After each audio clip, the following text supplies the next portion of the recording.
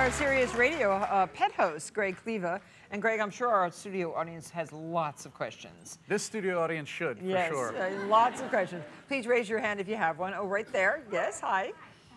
Hi, I'm Susan O'Donnell from White House Station, New Jersey, and this is Brooke, a Treeing Walker coonhound. And my question is why do some dogs cower and shake in a certain situation and other dogs are just as happy as they could be? Okay, especially, that's a great question, uh, especially with, with you all with rescue dogs. Depending on what age we rescue the dog, we don't really know what their background consisted of. What kind of experience have they had previously in their lives before you got them? If they missed socialization at critical periods, they may be a little bit uh, fearful in certain situations. So um, that the cowering that you see, the shaking that you see is, is adrenaline uh, that causes the dog to shake, unused energy. We see this a lot with dogs with training as well. If you'd make a dog stay and the dog's going, I really want to go get that cat, um, it's just, it's unused energy. It's the dog going, I, I want to move, but I, I, can't. I'm not letting myself do it. So um, the best thing you can do in that situation, if it's a fear situation, is create positive associations by using food uh, or anything else that the dog is motivated by. If the dog has a favorite toy or something along those lines, just get the dog to go, you know, if it's, I don't like when you rumble the garbage can down the driveway, rumble the garbage can just a little bit and give, give food or play with the favorite toy so the dog goes, okay, I kind of like when that happens. Good question. Hi. Hi, my name is Abby. I'm from Quincy, Massachusetts, and this is my dog Poco. She was rescued from Puerto Rico through the Save a Sato program. And my question is when we are inside, she will always come when she's called. But when we go outside, she completely ignores me. I'll bet you're the only come. one out there that has that issue with their dog. That's a common one, absolutely. Um, outside, obviously, there's a lot more distraction. There's more to see, more to smell, more to hear. Uh, in order to educate your dog, whether it's inside or out, you've got to create focus first. You've got to get that awareness. So if you need to, you know, call your dog's name first. If that doesn't work, give a little growl. This may sound kind of silly, but ah, a little clap of the hands to get your dog to look.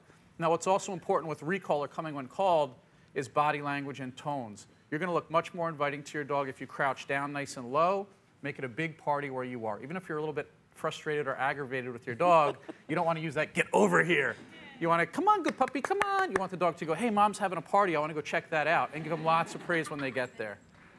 Yeah. Okay? okay and I, I want to stress that positive reinforcement is really so much better with your animals than anything harsh or mean or absolutely. Yeah, I, I think it's so so important that uh, that and never, never, never hit a dog in the face. Never. You, you can be firm with your dog without being physical. Firm but fair and never. You, know you never want to do anything that's going to break down that relationship. Right.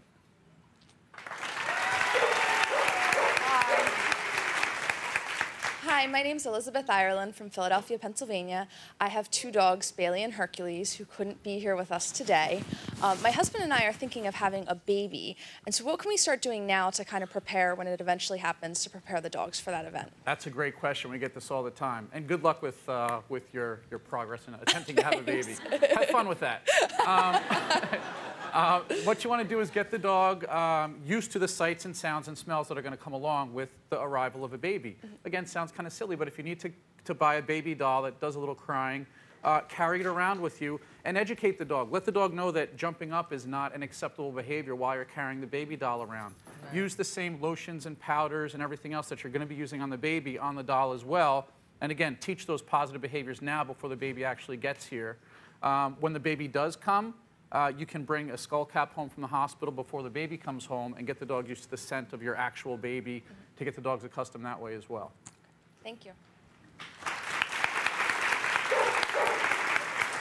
Okay, hi.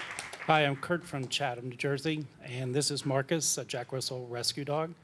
And my question is, he chews toys constantly and shreds everything to get to the squeaker. How do we stop that? Great question.